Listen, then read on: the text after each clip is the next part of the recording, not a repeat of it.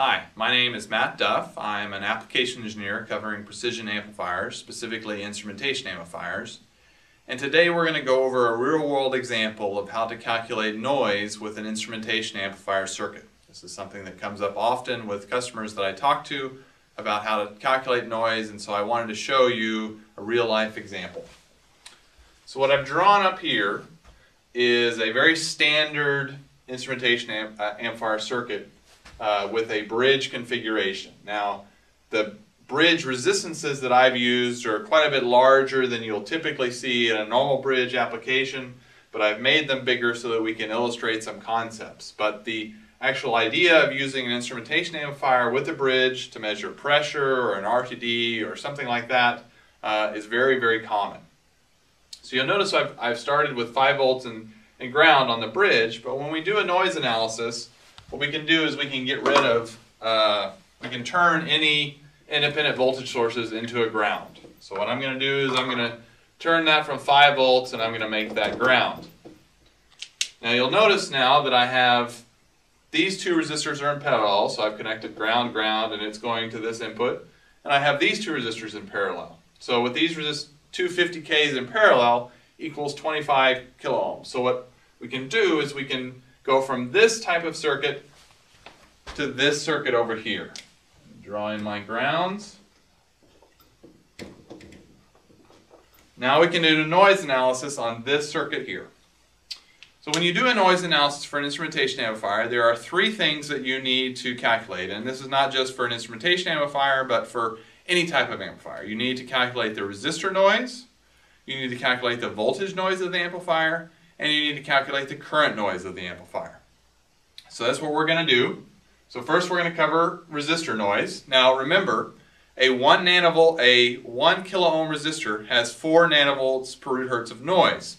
We can use this to figure out what the noise of these resistors are. So uh, if a 1 kilo ohm resistor has 4 nanovolts, we can take the square root of 25, get 5, and multiply that by 4 to figure out what the noise of these resistors are. So noise of these resistors are 20 nanovolts per hertz. 20. So we go through and we calculate with 20 and we get the total noise from our resistors is 28 nanovolts per hertz.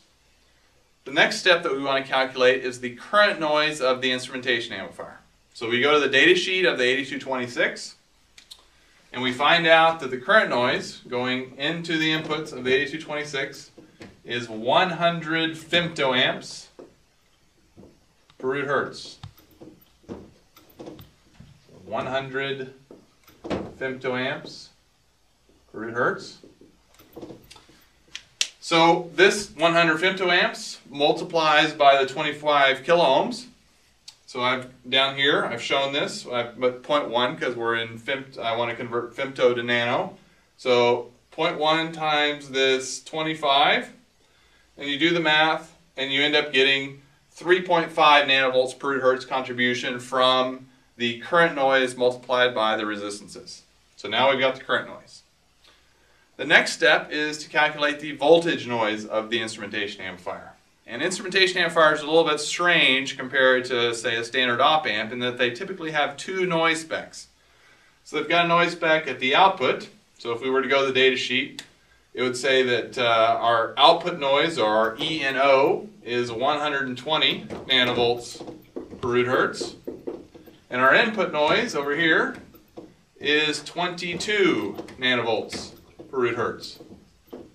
Now, the funny thing about instrumentation amplifiers is this noise changes with the gain. So, or, or I guess when we're talking about input referred, this noise stays constant and this noise goes down with the gain. So what I've said in our circuit is we're going to use a gain of 10 for this instrumentation amplifier. So what we're going to do is we're going to, this 120 nanovolts per hertz, we're going to divide by 10. So now we go down to our calculations we show our voltage noise being 22. We show our, our input voltage noise being 22. Uh, this ENO being 12 because we divide by the gain. So now we have all of the noise characteristics that we need. So now finally what we do is we combine all the noises that we figured out, our resistors, current noise, and our two voltage noises. And I've done this in our equation down here. So we do the sum of squares. So when you're adding noise together, you always do the sum of squares.